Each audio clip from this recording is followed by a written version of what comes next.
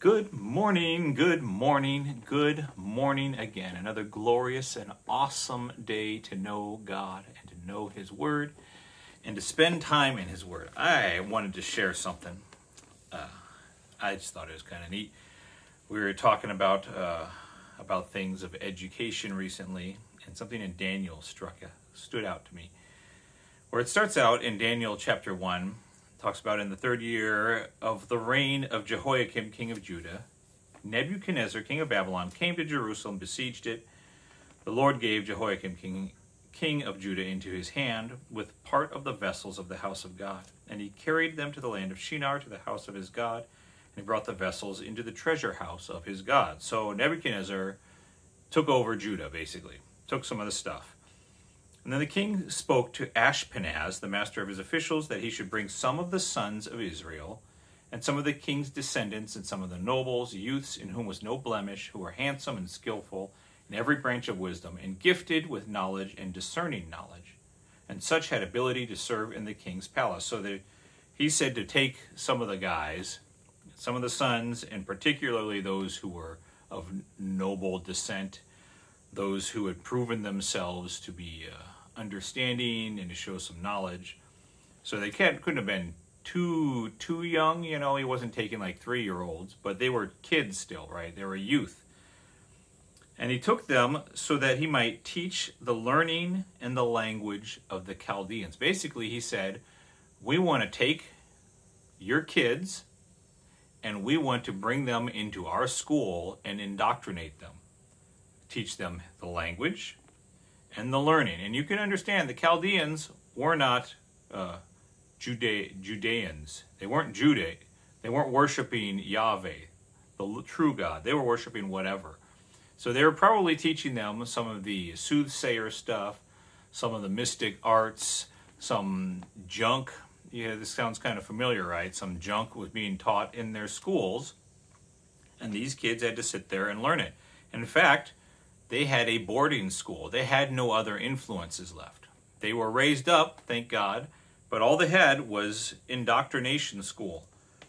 And he said, Among these sons of Judah was Daniel, Hananiah, Mishael, and Azariah, to whom the commander of the officials gave the names Belteshazzar, uh, Shadrach, and Benny, Shadrach, Meshach, and Abednego. So he changed their names even change their atmosphere, change what he was instructing them, was changing their language to a degree or teaching them a different language, and change their names. That sounds like a, a mind control game, like a brainwashing tactic, right?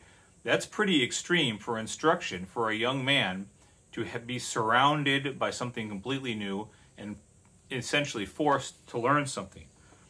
But, it says in verse 8, but, sometimes the word but is very useful. But Daniel purposed in his heart that he would not defile himself with the portion of the king's food, nor with the wine that he drank. So he's talking about the food and the wine particularly. But the first part of that, Daniel purposed in his heart. It really struck me how much uh, the Word of God, faith in the Word of God, and faith in God is a keeping value. It kept these four these four young men. They were sent to school. They were sent to a, a full immersion school. But did they come out fully like the Chaldeans?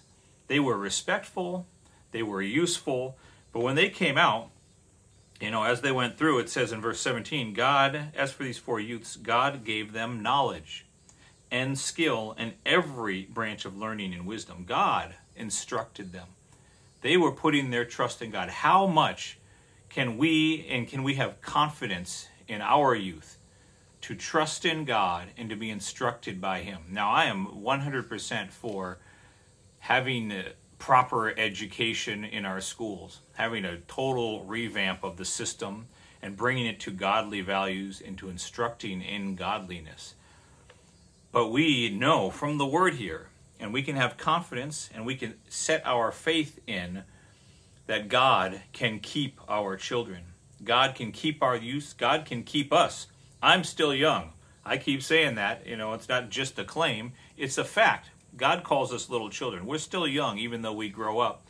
And we can still have the mindset that God can keep us and that He can instruct us and He can bring us through as we purpose in our hearts to serve Him.